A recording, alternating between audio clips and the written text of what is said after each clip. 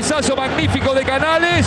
Unión Española 2, Vélez 0. La jugada fue perfecta. La tocaron todos menos el arquero Limensa. Gana el equipo chileno que lo está bajando a Vélez de la clasificación. Unión Española 2, Vélez Arfiel 0. Lo hizo de cabeza Canales. Les apuntaba hace un instante nada más. Una linda exhibición de la Unión Española. ¡Qué jugada! Armonía en el movimiento, cuánto toque. Esteves, el centro, qué bien se eleva Canales, al que lo habíamos elogiado allá y acá.